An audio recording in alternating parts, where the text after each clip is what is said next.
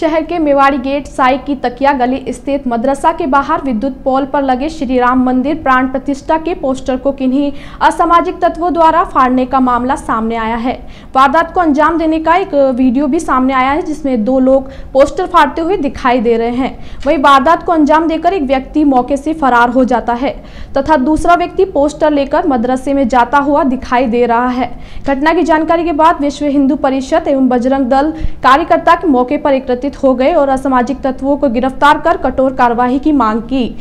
घटना की जानकारी के बाद सिटी थाना पुलिस ने एएसपी मनीष चौधरी, एसएचओ हनुमान राम जाप्ते के मौके पर पहुँचे तथा आक्रोशित भीड़ को काबू में किया। इस दौरान थाना अधिकारी हनुमान राम ने विश्व हिंदू परिषद के सुरेश वैष्णव से पूरे प्रकरण की जानकारी लेने तथा घटना का वीडियो देखने के बाद पुलिस ने मदरसे से दो लोगों को हिरासत में लेकर थाने ले गई। पुलिस दोनों लोगों से पूछताछ करने में जुटी हुई है। वहीं विश्व हिंदू परिषद तथा बजरंग दल शाखा ब्यावर की ओर से सिटी थाने में एक लिखित शिकायत देकर पुलिस प्रशासन से दोषियों के खिलाफ कठोर कार्रवाई करने की मांग की है। साइड की तकिया गली में विहिप व बजरंग दल के कार्यकर्ता सहित बड़ी संख्या में लोग मौजूद है। पुलिस प्रशासन ने शांति एवं कानून व्यवस्था को लेकर क्षेत्र में भारी पुलिस जाप्ता तैनात किया हुआ है। मौके पर फ़िलहाल स्थिति तनावपूर्ण पर नियंत्रित में है। घटना को लेकर मौके पर पहुँचे विधायक तथा सभापति नरेश कनौजिया ने भी आक्रोश जताते हुए दोषियों के खिलाफ सख्त कार्रवाई करने की मांग की है। मामले को देखते ही अतिरिक्त पुलिस अधीक्षक हिमांशु जांगीर तथा डिप्टी मनीष चौधरी भी मौके पर पहुँचे तथा शांति व्यवस्था को संभाला।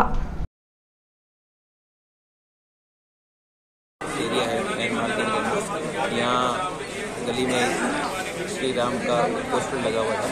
उसको कुछ लोगों द्वारा पोस्टर को फाड़ कर हटा दिया गया इस बारे में पुलिस मौके पर पहुँची यहाँ का जायजा लिया तो वहाँ पोस्टर फटा हुआ था। इस बारे में कोई सीसीटीवी फुटेज भी आया है उसमें कुछ लोग उसको फाड़ते हुए दिख रहे हैं। प्रथम दृष्टिया जिन पे संदेह था। ऐसे तीन लोगों को डिटेन किया गया है।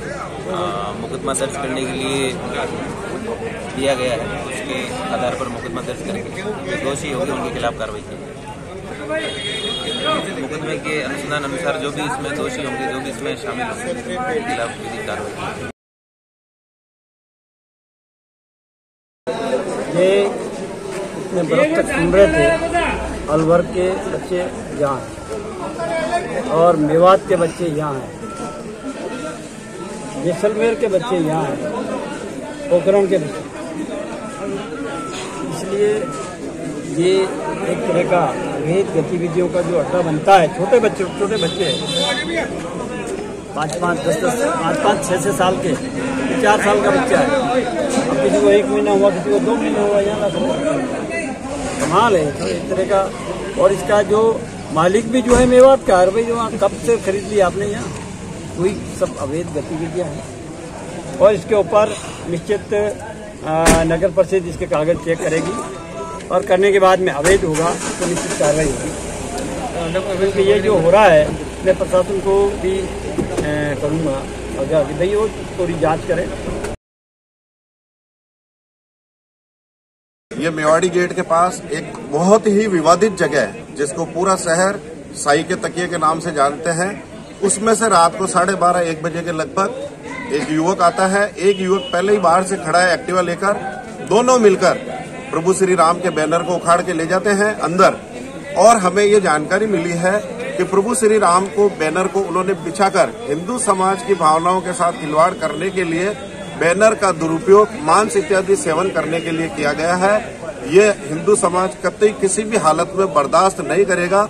हम किसी धार्मिक स्थल का विरोध नहीं करते हैं, लेकिन जो हमारे प्रभु श्री राम का या हमारे किसी भी प्रकार के बैनर का दुरुपयोग करता है, प्रभु श्री राम के साथ अनैतिक आचरण करने की कोशिश करता है तो हम भी प्रभु श्री राम के अनुयायी हैं। असुरों का संगार करने में कार्यकर्ताओं को कोई किसी प्रकार की देर न लगेगी। अभी हमने माननीय थाना अधिकारी महोदय को ये सारा विषय बताया, उन्होंने वीडियो देखा। वीडियो देखकर उन्होंने भी पुष्टि की कि वास्तव में ये गलत हुआ है और पुलिस अपना काम कर रही है। हमारे बजरंग दल और विश्व हिंदू परिषद के सभी कार्यकर्ता बहुत शांतिपूर्ण तरीके से खड़े हैं, क्योंकि हम किसी भी प्रकार से, किसी भी कारण से शहर का माहौल खराब नहीं करना चाहते हैं। हम प्रशासन से तुरंत मांग करते हैं कि जिन लोगों ने ये कृत्य किया, उनके खिलाफ कठोर से कठोर कार्रवाई की जाए।